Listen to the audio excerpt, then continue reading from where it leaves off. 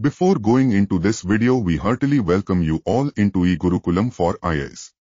Let's start. In the previous videos we learnt about landforms across rivers, glaciers and deserts. In this video we will discuss about karst topography and landforms made by limestone and chalk. Karst is a topography formed from the dissolution of soluble rocks such as limestone, dolomite and gypsum. It is characterized by underground drainage systems with sinkholes and caves. Karst is most strongly developed in dense carbonate rock, such as limestone, that is thinly bedded and highly fractured. Karst is not typically well developed in chalk, because chalk is highly porous rather than dense, so the flow of groundwater is not concentrated along with fractures. Karst is also most strongly developed where the water table is relatively low, such as in uplands with entrenched valleys and where rainfall is moderate to heavy. Karsts are found in widely scattered sections of the world, including the Caucasus of France, the Quanxi area of China, the Yucatan Peninsula, and the Middle West, Kentucky, and Florida in the United States. In India karst topography is present in the Vindhya region, mainly southwestern Bihar, the Himalayas, parts of Jammu and Kashmir, Robber's Cave, Sahasradhara, the eastern Himalayas, areas near Dehradun, Pachmarhi in Madhya Pradesh, Gupt Godavari Cave in Chitrakoot, UP, the surrounding coast near Vishakhapatnam, Borra Caves, and Bastar in Chhattisgarh. Depositional landforms of karst topography. Speleothems. All types of deposits in the caverns are collectively called speleothems of which calcite is the common constituent. Speleothems most commonly form in calcareous caves due to carbonate dissolution reactions. They can take a variety of forms, depending on their depositional history and environment.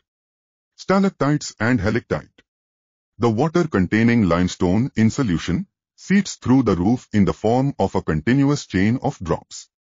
A portion of the roof hangs on the roof and on evaporation of water, a small deposit of limestone is left behind contributing to the formation of a stalactite, growing downwards from the roof.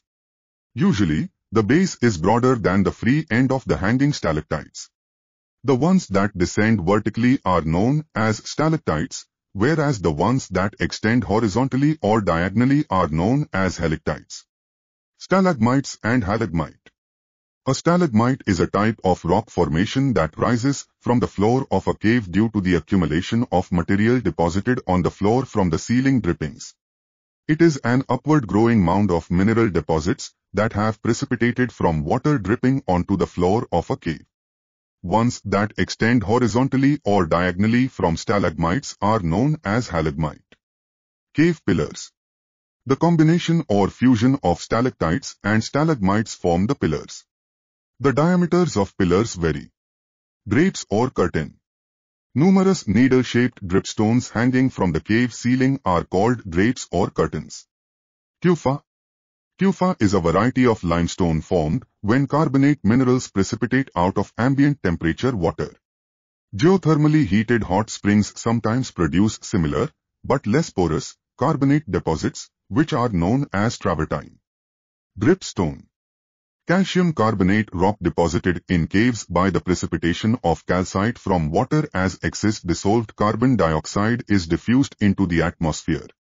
Terra rossa. Terra rossa is a well-drained, reddish, clay to silty clay soil with neutral pH conditions. That's all for this video. Meet you in next video discussing about erosional landforms in karst topography. Thank you. Like and subscribe to eGurukulam for IAS.